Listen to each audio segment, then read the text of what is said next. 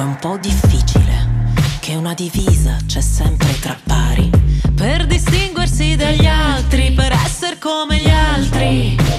Fricchettone tra i freak, colletto bianco nei piani alti. Con il suo nuovo singolo alternativo è un po' difficile, ci sarà anche lei, la retina Eleonora Betti, all'edizione 2022 del Malpighi Festival organizzato ad Arezzo. Il suo sarà un concerto in acustico il 23 di luglio al Festival estivo targato Arezzo che spacca. Sentiti diverso, sentiti a disagio fuori dal tuo universo. 22, 23 e 24 luglio e il 22 e il 23 sarà una situazione prettamente dedicata alla parte musicale. E più faremo degli aperitalk prima di ogni serata live quindi format nato durante la pandemia in collaborazione con il Mengo portato dal vivo finalmente.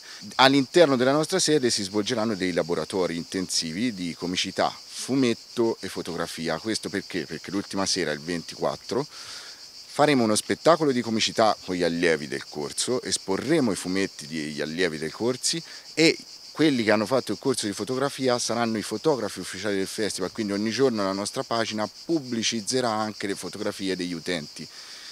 Tutto questo, non facendoci mancare niente, verrà contornato dalla Fiera della Musica che si svolgerà nell'area verde davanti al palco dove avremo tantissimi ospiti dell'ambito musicale aretino a partire dai rivenditori di vinili fino ad arrivare ai negozi più importanti della città fino ad arrivare alle etichette Woodworm, Soffici Dischi e Radici Music Record che saranno a disposizione degli utenti proprio anche per farsi conoscere e per avere modo di confrontarsi.